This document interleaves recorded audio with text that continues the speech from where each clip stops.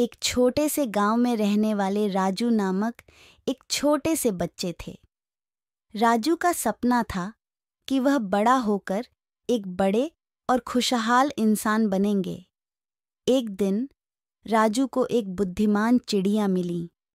नमस्ते राजू कैसे हो? मैं एक बुद्धिमान चिड़िया हूँ और मैं तुम्हें एक महत्वपूर्ण बात सिखाने आई हूँ। क्या बात है? तुम्हें पैसे बचाने की आदत डालनी चाहिए? पैसे बचाने की आदत? कैसे? चिड़िया ने राजू को बताया कि छोटे छोटे रुपए बचाकर उन्हें एक सुरक्षित जगह में रखना बहुत महत्वपूर्ण है। उसने यह भी सिखाया कि छोटे बचत से बड़ा निधि बन सकता है।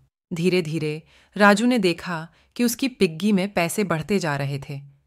उसने चिड़िया के बताए गए तरीकों से पैसे बचाने की आदत डाली और देखा उसके सपने को पूरा करने के लिए उसकी मदद हो रही थी।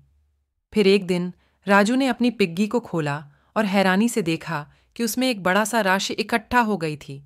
वह बहुत खुश हुआ और चिड़िया को धन्यवाद कहा। राजू ने सिखा कि छोटी छोटी बचतें बड़े सपनों को हकीकत में बदल सकती हैं।